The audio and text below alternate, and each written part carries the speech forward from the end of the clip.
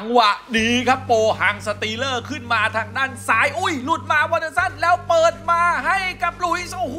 ยเกือบไปครับบุรีรัมย์ครับอ้าวบิโซลี่มาตรงนี้บิโซลี่เกือบได้เหมือนกันโอ้โหเกมนี้นี่เปิดพอสมควรเลยครับแม่บิโซลี่เกือบทัน แต่ว่ามันมีอยู่จังหวะหนึ่งเนี่ยต้องบอกว่าโอ้โหเกือบโดนใบแดงนะโปฮัง Steelers เข้าแรงไปถีบหัวเข่าครับแต่ต้องบอกว่ารอดเหลือเชื่อรอดได้ไงครับจังหวะนี้ และก็ตรงนี้ โอ้โห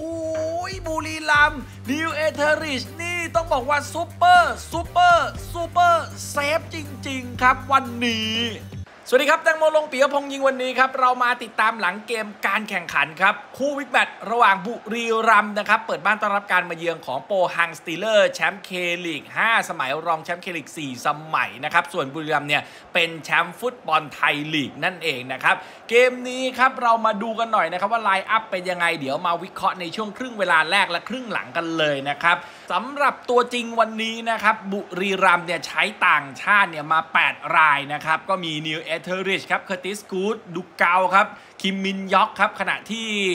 ตรงกลางเนี่ยมีสัสลักไหประโคนทีรทรบุญมาทันโกรันคาวซิตลงต่อเนื่องใน ACL ครับดิออนคูลส์อยู่ทางด้านขวา ศุภชัยใจเด็ดลูคัสคริสปิม แล้วก็บิสโซลี่ครับ อันนี้คือทางฝั่งของบุรีรัมย์เนี่ยมี 3 นักเตะไทยนะครับ ขณะที่โปฮังสตีเลอร์เนี่ยถ้าตัวต่างชาติเขามี 4 นะครับ ก็เป็นออสเตรเลียหมายเลข 5 นะครับ แล้วก็เป็นหมายเลข 77 วันเดอร์สันนะครับ จากบราซิลกัปตันทีมโอเบอร์ดานนะครับเบอร์ 8 ของบราซิล แล้วก็ จอร์จ หลุยส์นะฮะหมายเลข 9 นั่นเองนะครับก็อันนี้คือ 4 ตัวต่างชาติที่เหลือเป็นเกาหลีใต้ แต่ว่าเกมในช่วงต้นเนี่ยนะครับต้องบอกว่า โอ้โห เครียดเหมือนกันนะ ทางบุรีรัมเนี่ยเพราะเจอโปฮังสตีเลอร์เล่นแรงเข้าหนักดุดันนะครับ แต่ก็ต้องบอกว่าช่วงแรกๆเนี่ยบุรีรัมเนี่ยค่อนข้างครองเกมได้ดีกว่าหาโอกาสเข้าทำพยายามจะบุกพยายามจะเจาะได้สนุกกว่านะครับดูตื่นเต้นดูเร้าใจในช่วง 10 นาทีแรกของเกมนะครับ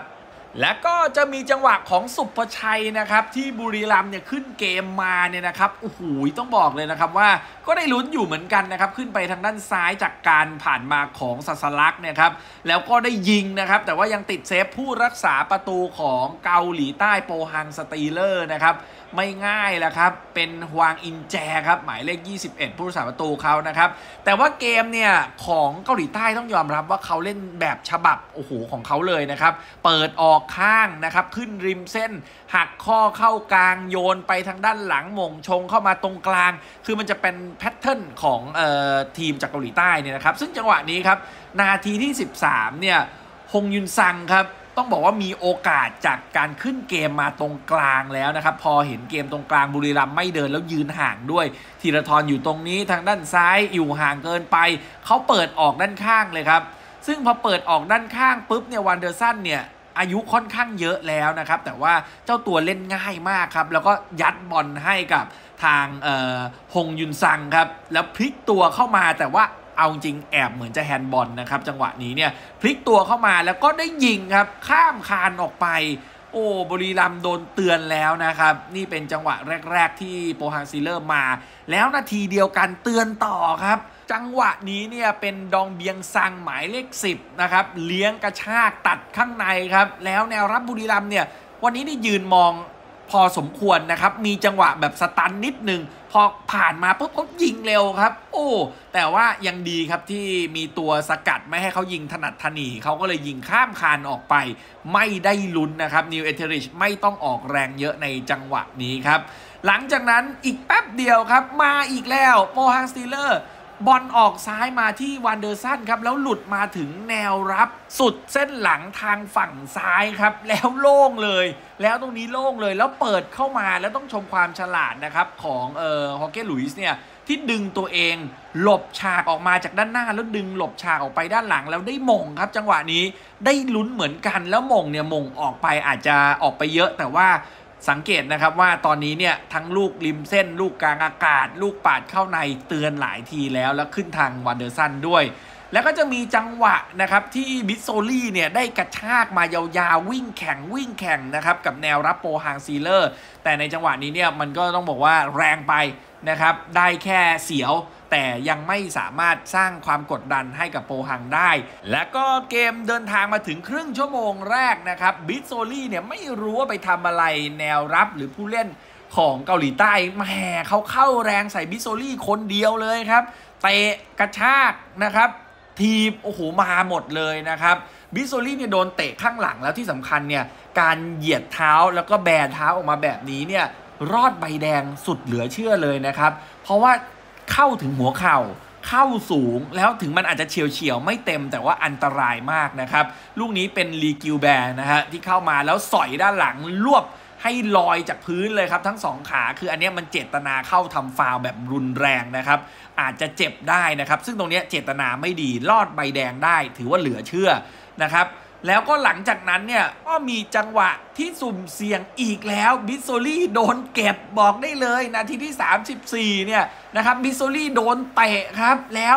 ทางเกาหลีใต้เนี่ยได้บอลแล้วเขาเปิดวางยาวมาเลยนะครับ โอ้โห แล้วหลุดเดี่ยว พอวางยาวเสร็จหลุดเดี่ยวโดน1ต่อ1กับนีล เอเธอริดจ์นะครับ ในตำแหน่งกองหน้าของเขา ซึ่งนีล เอเธอริดจ์เนี่ยต้องยอมรับนี่คือผู้รักษาประตูระดับโลกนะฮะ โอ้โห ระดับพรีเมียร์ลีกปัดครับ ปัดได้ยังไงโคตร save โอ้โห ลูกนี้นี่ต้องยอมใจว่า super save อีกแล้วนะครับ โอ้โห หลายต่อหลายครั้งที่เราเห็นนิวเทเรตเนี่ย รับลูกที่ไม่ควรจะรับได้ แล้วเขาทำได้แล้วทำได้ยอดเยี่ยมจริง ๆ ลูกนี้ต้องให้ 10 คะแนนเต็ม 10 คะแนนเต็ม 10 คะแนนเต็มจนถึงขนาดที่ว่าทางออสมาร์ ลอสเนี่ย ออกมาโวยทำไมตอนแรกที่บิสโซลี่โดนเตะไม่ฟาวล์แล้วก็โดนรับใบเหลืองไปด้วยนั่นเองนะครับ แล้วก็จบครึ่งแรกนะครับ ด้วยสกอร์0-0 แต่ว่าเป็น 0-0 ที่มันมากนะครับ ลุ้นไปลุ้นมานะครับ แล้วก็ทางด้านสถิติในช่วงครึ่งเวลาแรกเนี่ยบุรีรัมย์ครับครองบอลนะครับ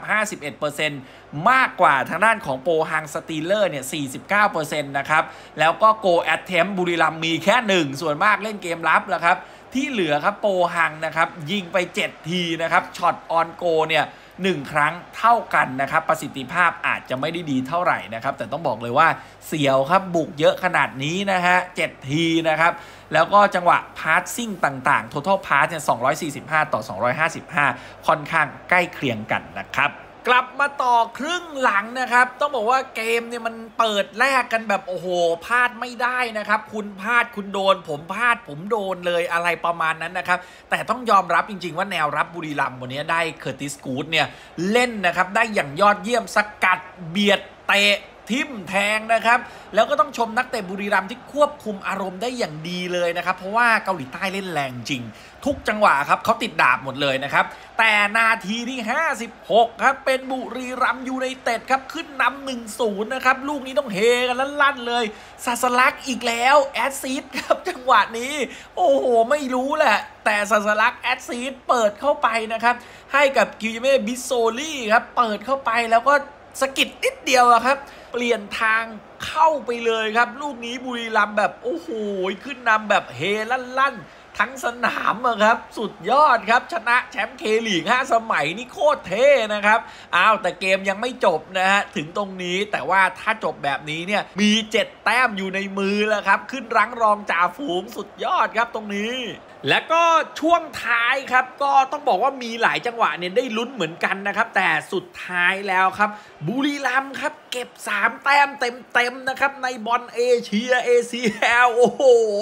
สุดยอดไปเลยนะครับ แล้วก็ขึ้นรั้งรองจ่าฝูง ACL ไปเลยนั่นเองนะครับอะนี่ก็ต้องบอกว่าสุดยอดถ้าหากว่าชื่นชอบก็ติดตามกันได้ครับ โดยการกดไลค์กด Subscribe กดกระดิ่งแจ้งเตือนจะได้ไม่พลาดทุกคลิปความเคลื่อนไหววันนี้ลาไปก่อนสวัสดีครับ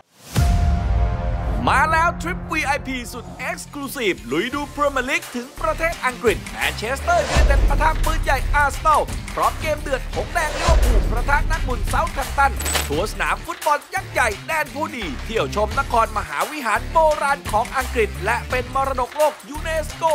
ช้อปปิ้งกลางกรุงลอนดอน กินหรูอยู่สบายกับผมแตงโมพงพิสุทธิ์ผิวอ่อน พร้อมออกเดินทาง 6-14 มีนาคม 68 สนใจติดต่อตามรายละเอียดด้านล่างนี้ ครั้งหนึ่งในชีวิตที่คอบอลไม่ควรพลาด